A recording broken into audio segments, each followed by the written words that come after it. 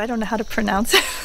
Kunzwanana or is it Kunzwanana? See, you don't ask me. Kunzwanana. Kunzwanana. Kunzwanana? Kunzwanana or Kunzwanana. Uh, Kunzwanana.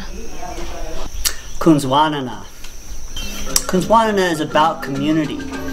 So the root word kunzwa means deep listening, um, listening more than superficially, really listening deeply to another's needs and wants and requests. And so Kunzwanana is a community that comes together in and around those principles. So it has a lot to do with the, um, the give and take and the communication and the reciprocity that's necessary for a community to arise. So it's a complex term like a lot of African terms are, Kunzwanana, but that's a hint at what it means.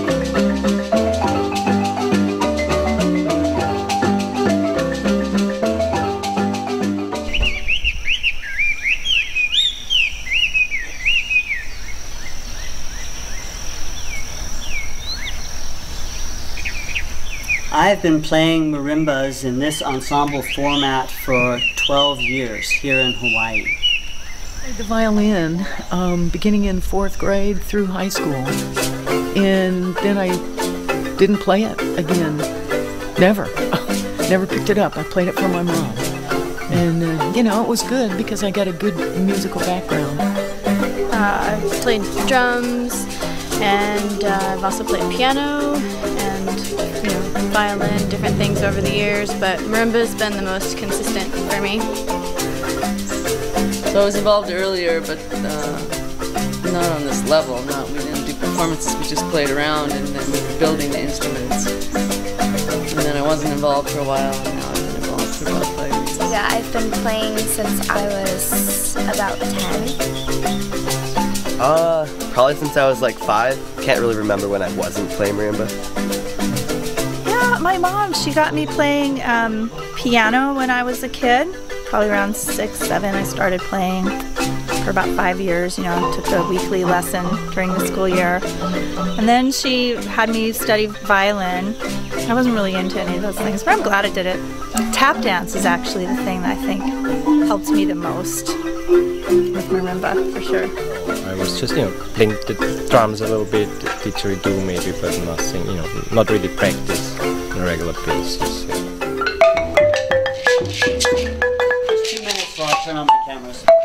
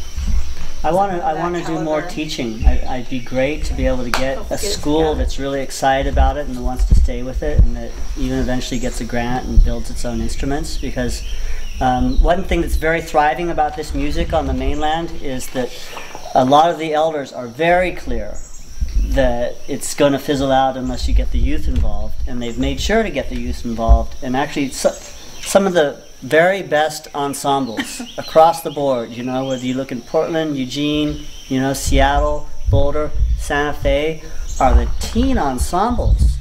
They can do anything. They're playing so fast and they're all tight together, like Hokoyo, you know, or Ande. Yeah. Uh, it's just so it's very much alive in the kids, and they're really enjoying it. They're having a good time together.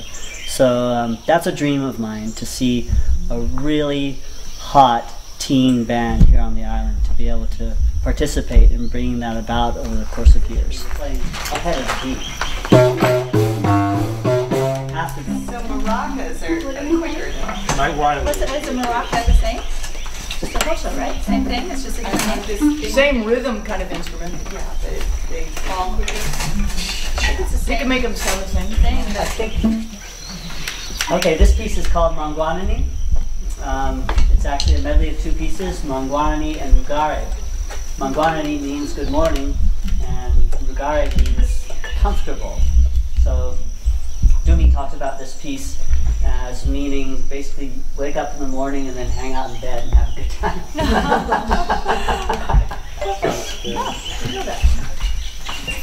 okay, give it to us, I got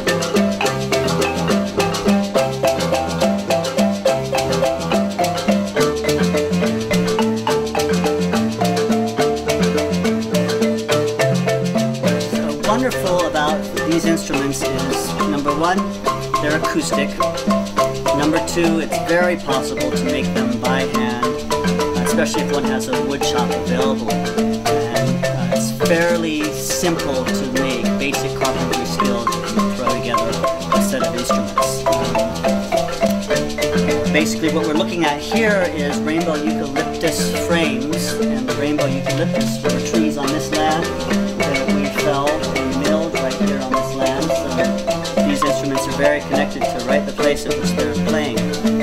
Larger instruments here, the baritone and the bass, also have rainbow eucalyptus for their notes, and it's an admirable very comparable to the Honduran mahogany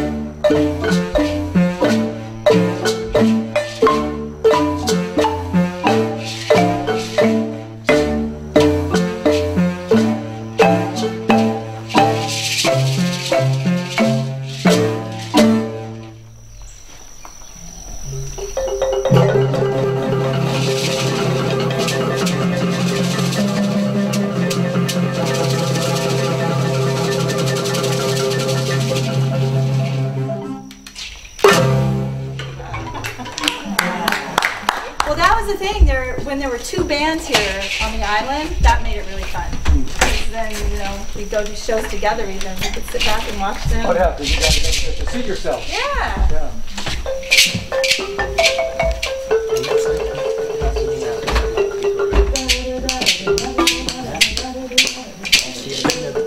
It just hits on the bottom half and not the board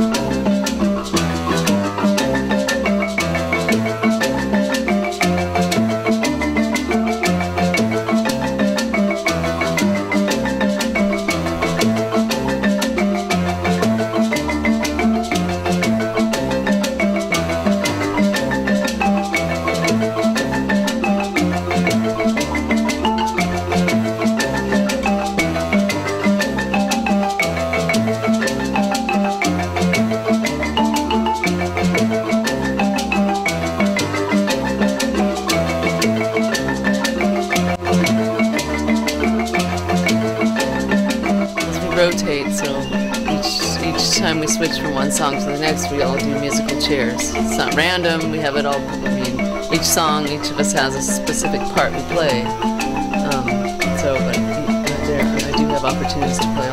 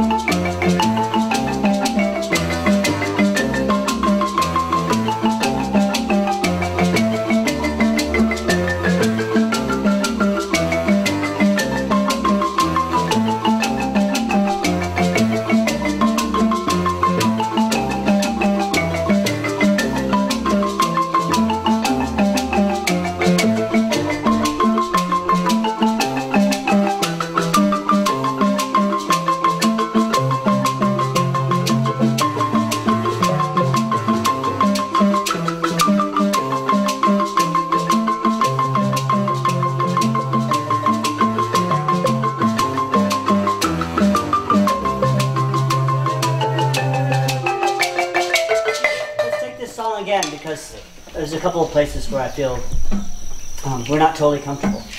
Yeah? Just take it from the start again. That's a great way to say it. Speed is more a little Thank you for another Was opportunity. that a little fast, Linda? Are you trying to Uh, slow down after starting? Or mm, it seemed to me like you tried to slow down and I wasn't sure, but it was. yeah, slow it down a little bit. A lot. A lot? Welcome on East Six this time. Set a pace. Want it slowed down or? No, you need to set the pace for what you're It did comfortable slow for. down. Lee. No, I know. And starting. Are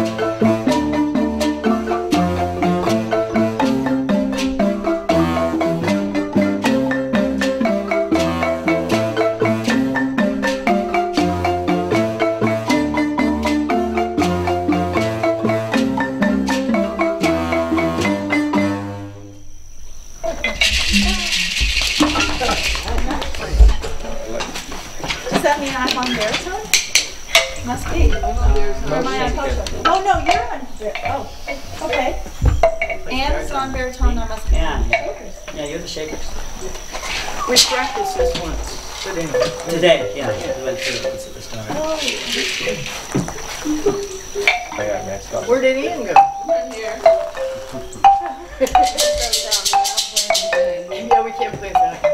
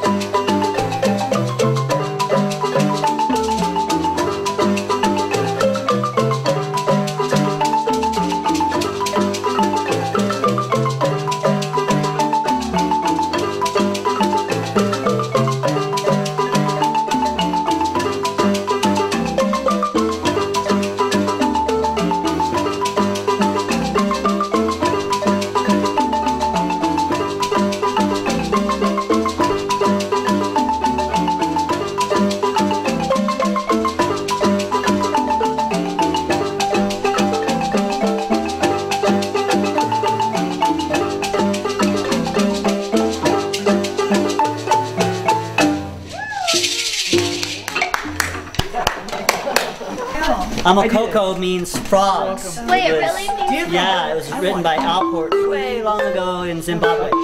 And here, I guess it means coqui frogs, huh?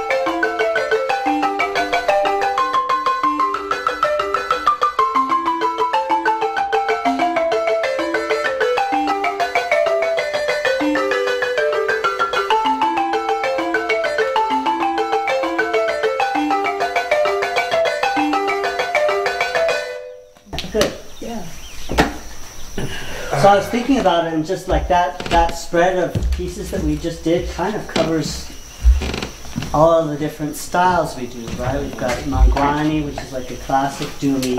Doesn't And do then volcano. Siyakudumisa You is like more of a, um, that's like a traditional hymnal type. It's a Zulu piece.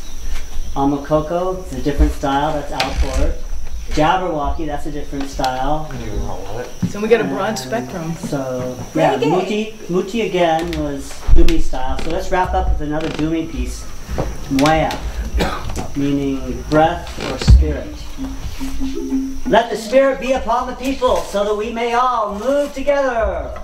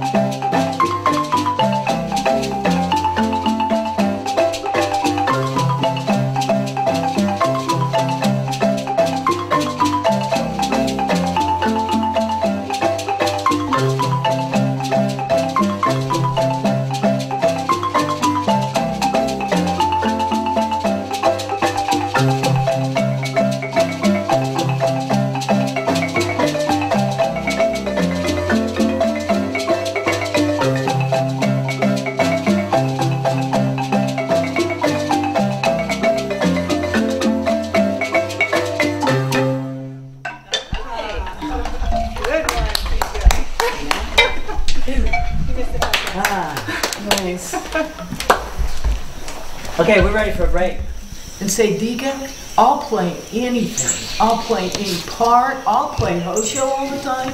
I just want to play with the band. And at the day I was going to call him, he called me just before I was going to call him to sub. And I think Kumsa, you were going to be gone. Yeah. And you ended up being, not knowing. But that's what got me into the band. And I so enjoy the spirit here. It's so non judgmental, so accepting, encouraging, and I love the variety of ages. You know, I learn learn something from everybody. So it's just a pleasure. So thanks, guys, for letting me play with you.